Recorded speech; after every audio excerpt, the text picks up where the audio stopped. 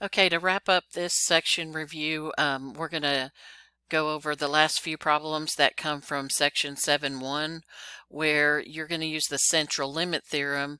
You use that when it instead of talking about for an individual um, proportion or probability, you're doing it for the sample mean. So um, here we've got a population of values was normally distributed. Um, it either needs to be normally distributed or a sample size greater than 30.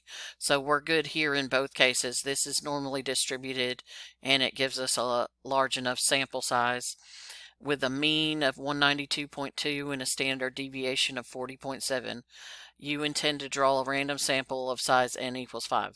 What is the mean of the distri distribution of the sample mean? Um, when it asks you that, that's your clue that you use the central limit theorem. Now for that, your mean is still just whatever they give you as the mean, but your standard deviation is not 40.7. Um, to get the new standard deviation, you do 40.7 divided by the square root of n, your sample size. So instead of using 40.7 for your standard deviation, we're going to use 3.97. So the mean doesn't change, but the standard deviation does if you're doing it for a sample instead of just one individual object, subject, person, whatever you're dealing with. So on this one, um, we've got CNNBC recently reported that the mean annual cost of auto insurance is $1,030. Assume the standard deviation is 258 with a sam uh, simple random sample of 78 auto insurance policies. Um, so we're going to find the probability that a single randomly selected value is less than 98 point, I mean 98 $988. So since this is just talking about one individual thing, you're a single randomly selected, that means we're going to just do this the good old-fashioned way that we've been working with. We're going to enter the mean and the standard deviation just like it is. And we want to know the probability is less than 988. So that's going to give us 0.4867.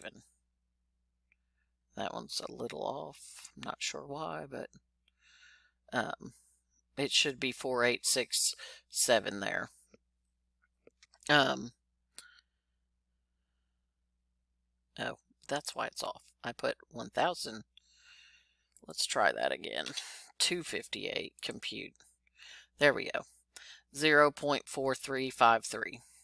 So that is just the way we did it before.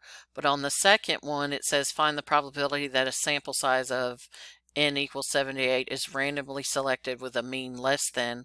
So same value, but this time we're doing it for the sample instead of just one individual person. So here we need to do um, our standard deviation 258 divided by the square root of 78 our sample size. And that's what you're going to put in for the standard deviation. And go out a couple decimal places. I usually go out three or four. And then you can round after you plug that in. So now your answer is going to be 0.0753. So that's when you're talking about for a sample instead of just a single thing. Um, 37 and 38 are exactly the same.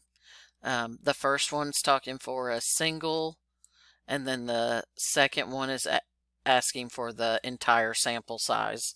So the only thing that changes is your standard deviation. You would still plug in um, your mean and standard deviation that it's given for this first one, but then on the next one you would do the standard deviation